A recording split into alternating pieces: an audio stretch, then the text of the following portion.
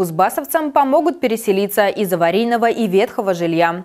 Программу продолжат. Уже в 2019 году из федерального бюджета выделят первую часть суммы. По предварительным данным Министерства строительства и жилищно-коммунального хозяйства страны, Кемеровской области планируется выделить в следующем году полтора миллиарда рублей. В 2020 году чуть больше.